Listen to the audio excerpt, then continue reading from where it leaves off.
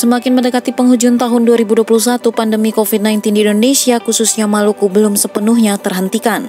Demi mencegah penyebaran COVID-19 di kala libur panjang yang nanti akan dihadapi beberapa waktu ke depan, maka Komandan Pangkalan Utama TNI Angkatan Laut 9 Brigjen TNI Marsikal Said Latukonsina MMMT secara langsung menginstruksikan tenaga kesehatan yang berada di bawah jajarannya untuk tidak menyerah dalam percepatan penanganan pandemi COVID-19 dengan terus melaksanakan vaksinasi massal bagi masyarakat.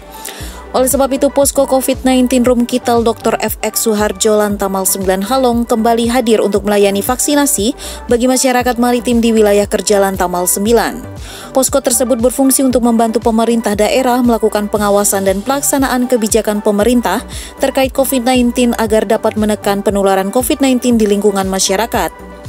Kegiatan vaksinasi ini juga selaras dengan instruksi Kepala Staf Angkatan Laut Kasa Laksamana TNI Yudo Margono untuk mensukseskan program pemerintah untuk berjuang dalam percepatan penanganan COVID-19.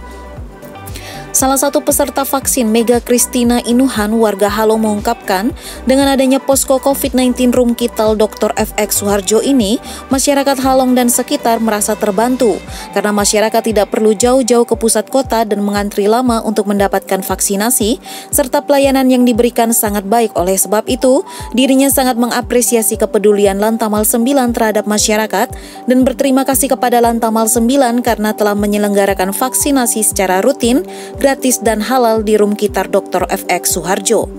Serbuan vaksinasi masyarakat maritim Lantamal 9 Ambon pada posko COVID-19 kali ini melibatkan 6 tenaga medis atau petugas vaksinator dari Room Kital Dr. FX Suharjo dan menargetkan 100 dosis vaksin. Terima kasih kepada Lantamal 9 karena telah menyelenggarakan vaksin secara rutin, gratis dan halal di Room Kital Dr. FX Suharjo.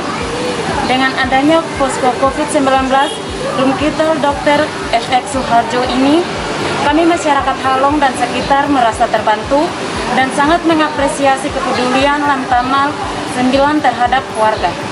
Semoga penderitaan panjang akibat COVID-19 ini segera berakhir. Terima kasih.